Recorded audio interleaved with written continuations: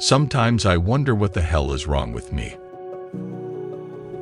I feel like our connection is fading more and more each day.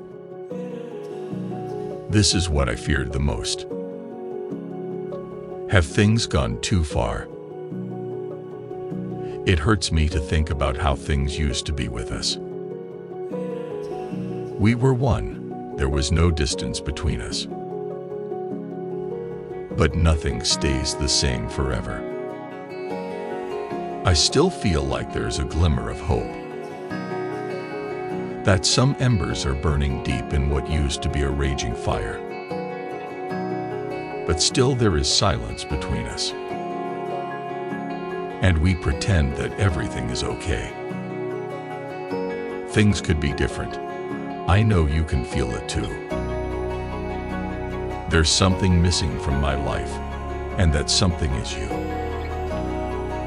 I can feel it deep in my heart, and I think I always will.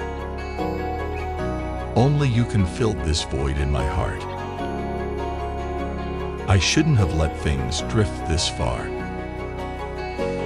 Sometimes I think this is what you want. I think that you're testing me, that you're holding back to make me prove my love for you. These are the many thoughts that fill my mind every day. I know I should have come forward and confessed this to you much sooner. But I have my doubts on how you feel about me now. I don't know how to express these complex feelings I have for you. Am I just someone that you used to know? I know I haven't got everything figured out yet. But I see the progress you've made, and it makes me want you more. I wonder if we could revive this fire between us that used to burn so bright. We've both changed, and we lost our way somewhere along life's journey. But maybe this fire is not extinguished fully yet.